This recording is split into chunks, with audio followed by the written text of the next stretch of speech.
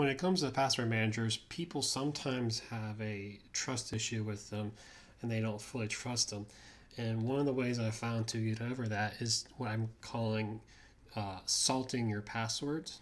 And basically, what it means is when you uh, change a password for a, like a web account, you have the password manager generate something random, then you let that fill in.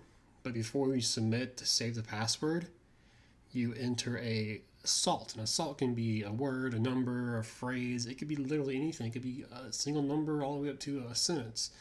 Um, but you, when you go to save that password in your password manager, you leave out the salt. So if someone somehow miraculously gets into your password manager, they still wouldn't know what the actual password is because it's missing the salt because you're not saving the salt inside the password manager and it's only a secret that you know. So that helps ease the pain uh, and the fear of password managers. And I want to demonstrate to you and show you how you can do it. So I'm using BigLots as an example website. And I'm going to change my password to something that is a salt. So what we do first is we go to view and particular for Bitwarden, this is how I do it. Uh, I'm going to edit, then I'm going to generate a new one. I'm going to overwrite the old one. And I'm going to use a password. That will be fine for me. It's, it's been randomly generated by the password manager. I'm going to click, uh, hit select. Then I'm going to save. So now I have the new password. I'm going to input it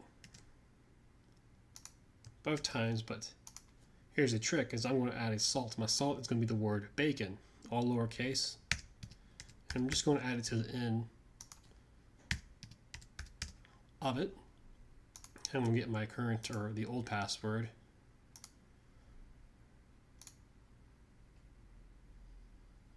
I'm going to copy that.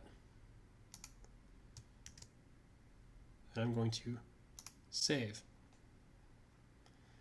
and then I've saved the changes and I'm going to sign out. So what we have here is if I look at the password manager and I look at the actual password, that's not the full password. It's missing the salt and the salt goes at the end. So if I try to log in,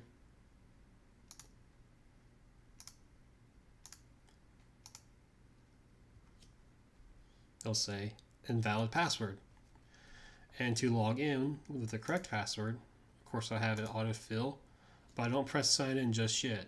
I just add my salt. My salt is bacon. It's the only thing I know. And it's not stored anywhere else. And I hit sign in. And there you go, I logged in. And sometimes Bitwarden will ask if we want to uh, update the password. For this particular password, I'm not going to update it because I do it the salt for security reasons. And I would not salt every password. I would only salt the most important passwords. If you salt every password, it's going to make your life harder than it needs to be. Uh, but this is one of the ways you can get over the fear of using a password manager because you're not actually storing the real password. You're leaving it out. So if someone stumbled upon your password manager, they wouldn't have the full password because they don't know your salt and what sometimes I like to do is I like to, in the notes section,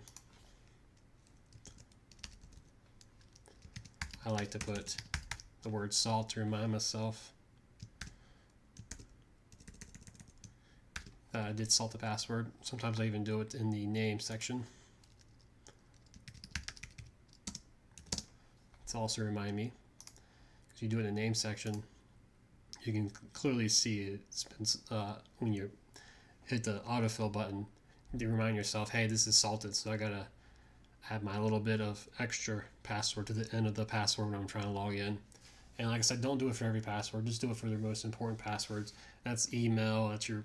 You can do it for your banking or anything that really deals with money. Something that you would flip out be, and be very upset if you lost that account. Maybe some people might be social media, what, what have you. But this is a clever way to get over the fear of password managers and, and keeping all your eggs in one basket and one password to rule them all because you're not completely giving everything away. You're still holding some of the cards. So, hope you enjoyed.